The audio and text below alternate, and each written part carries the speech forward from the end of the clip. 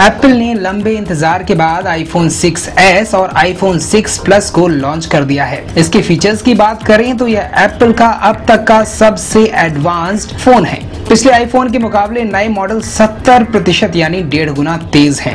IPhone के ये model थोड़े पतले और भारी हैं। ग्राफिक्स की प्रोसेसिंग स्पीड 90 प्रतिशत तक तेज है दोनों फ़ोन का सबसे खास फीचर है 3D टच यह फीचर तीन अलग अलग टच लेवल टच प्रेस और डीप प्रेस के बीच अंतर कर सकता है। इसमें टच रिस्पॉन्स टाइम कम होगा और एप्स और तेज होंगे। जितना प्रेशर, उतना काम। जैसे होम स्क्रीन पर फेसबुक आइकन को 3D टच करने पर ऐप खोले बिना अपडेट पोस्ट कर सकते हैं। स्क्रीन की बात की जाए तो 6s में 4.7 इंच और 6s प्लस में 5.5 इंच की स्क्रीन है।